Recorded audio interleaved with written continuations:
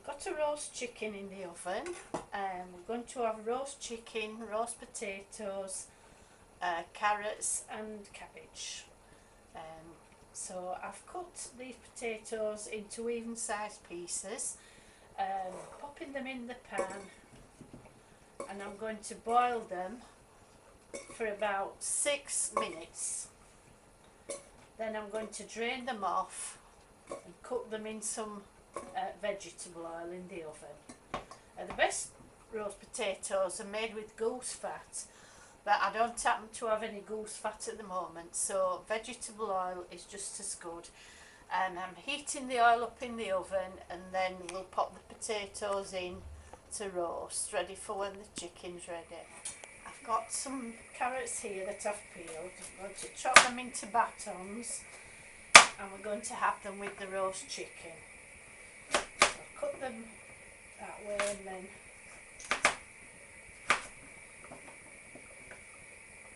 them like that. These I'm going to put in salted water, slightly salted water, and boil them for about 20 minutes.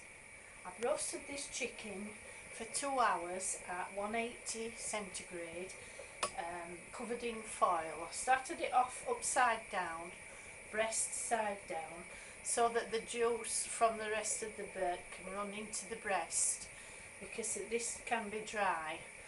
Uh, and then about halfway through I turned it over and just stick the fork in now and it, it is so tender it's literally falling to bits it's actually falling apart now um, I prefer it that way and then I know it's well cooked so because you can't be too careful with chicken so what I'm going to do I'm going to serve up the breast um, as a meal for four and then I'm going to take the legs and the thighs and the, the rest of the meat on the carcass and make it into a chicken and vegetable pie.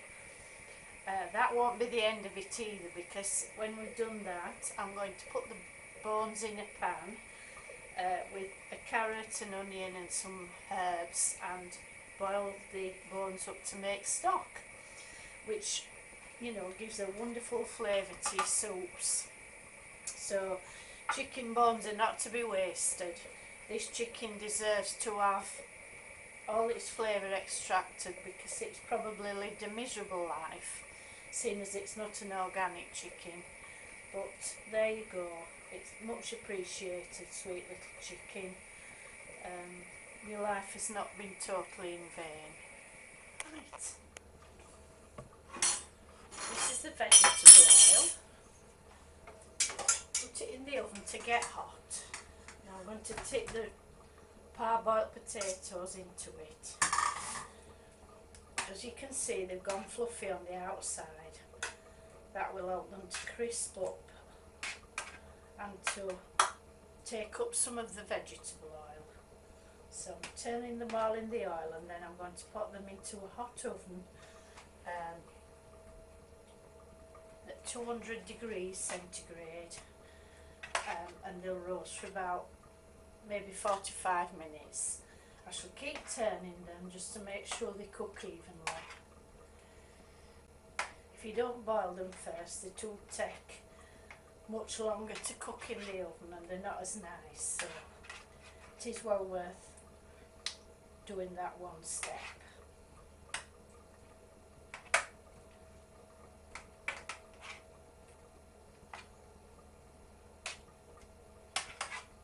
So I shall turn those around about every 15 minutes. They'll be all lovely and crispy and brown when they're finished.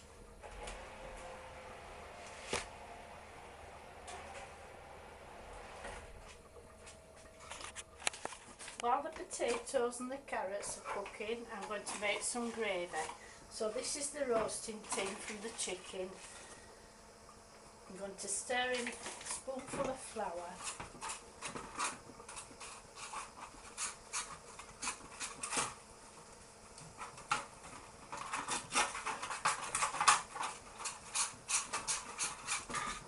get it to a, a nice smooth paste.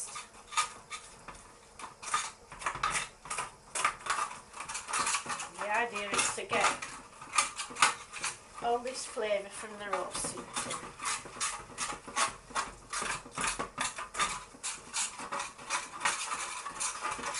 I'm going to stir in some hot water.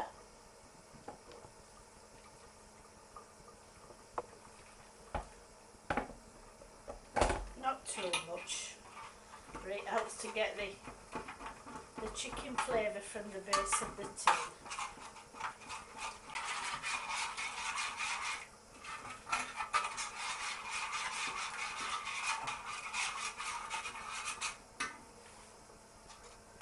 I'm going to tip this into the pan.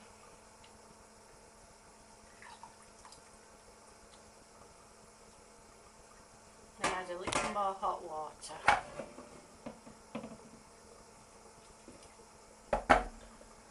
To get all the brown, all the brown bits out. I want to waste any of this chicken flavour.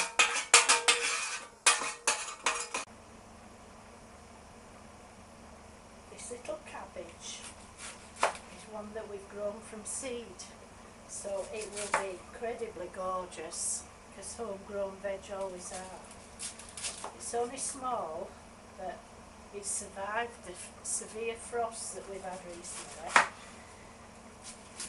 So just chop it in, wash it first, chop it into quarters, and take out the thick central stalk, and shred it like that. This will be sweet as a nut. There's nothing like the taste of homegrown veg. So what I'll do with this, I'm going to pop it in the colander with that other one. Because they were only small, I two. And just pop it on top of the carrots, put a plate on top and that will steam the cabbage just for about five or six minutes. That's all it'll need because it's very, very tender.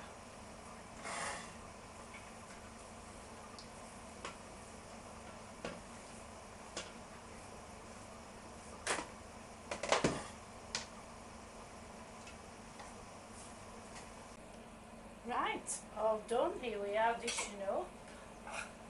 Got the two chicken breasts divided. Four generous portions. Fine dinners.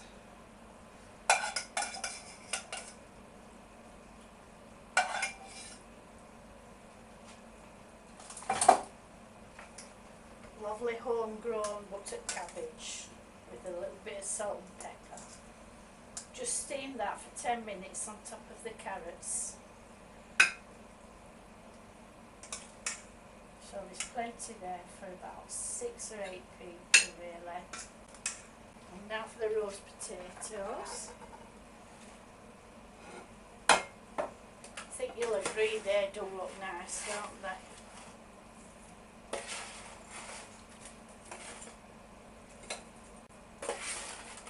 They've only taken about 35 minutes in the oven. Turned them over about three times.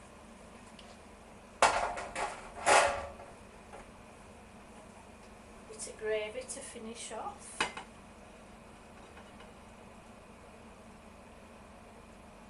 There you go.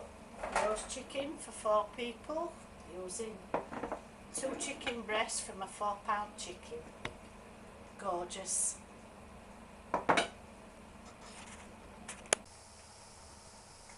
If you want to buy a copy of this book, this is my own cookery system uh, which teaches you how to cook just once a week.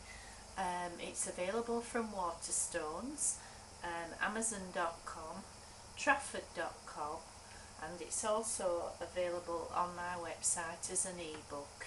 If you'd like to purchase an ebook, it's only two ninety nine, um, and you go just go to www.onceaweekkitchen.co.uk. Okay, see you later. Bye.